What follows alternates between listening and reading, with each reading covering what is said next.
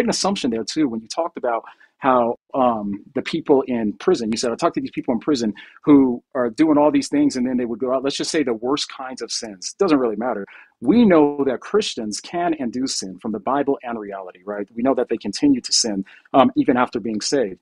So just because there's sins that are greater, you know what I mean, that we can, that we subjectively consider greater, um, then I think, um, oh, hold on one second.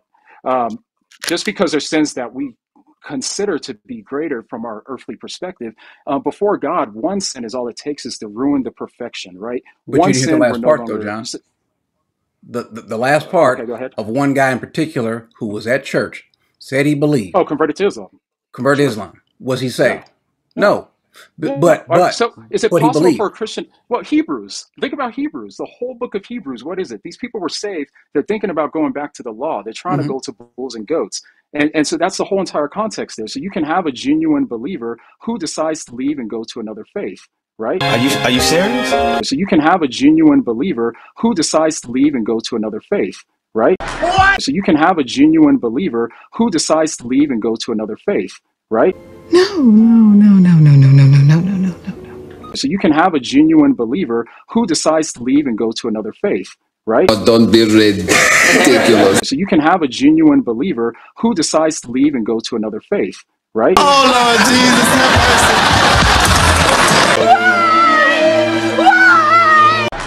Are you are you serious? But don't be ridiculous. Let's play this little game. We're gonna close out with this. Okay? Gonna play this little game. The game is called Who Said This? I'm gonna put up a quote, and then I want you to tell me, don't cheat, don't look up the name or anything like that. I want you to tell me if you are familiar with this quote and who said it, then put it in the comments when I when I put the the uh, the statement up. Y'all ready? Here we go. A believer may utterly forsake Christ. Remember remember what what what you mean said? Remember what he said in the clip? A believer may utterly forsake Christ and come to the point of not believing. God has guaranteed that he will not disown those who thus abandon the faith. Who said that? Who said that? Answer Charles Ryrie. So great salvation. Again, there's the page number. Another one. Those who have once believed are secure forever, even if they turn away. Again, this is uh, the reason why I'm sharing these quotes is because this is nothing new. So when I heard when I heard our brother, what do you mean, say this, and to be sincere about it, he's sincerely wrong. But this is the mentality and attitude that he has because this th- these are the people that he probably um follow. Anti-lordship. These are what you would call anti-lordship advocates. Who said it? You guessed it. Charles Ryrie. Another one. And this quote is a doozy. Quote Nothing guarantees that a true Christian will love God. Salvation does not necessarily even place the sinner in a right relationship of harmonious fellowship with God.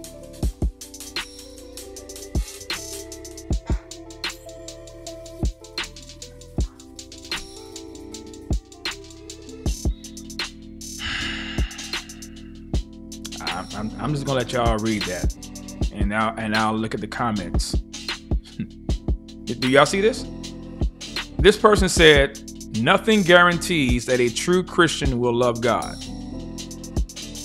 Nothing guarantees that a true Christian will love God. Nothing. Not even the Word of God." Nothing guarantees that a true Christian will love God. Salvation does not necessarily even place the sinner in a right relationship of harmonious fellowship with God. Who said that? Here's who it is Zane Hodges. Zane Hodges from his book Absolutely Free. And there are and there are the page numbers.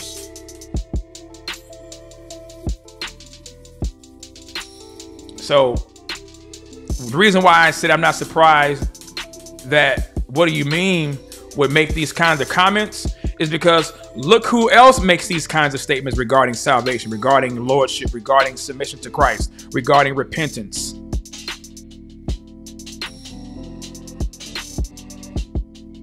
And the fact that they can put it in a book and then not get any kind of pushback, I say all of that to say this.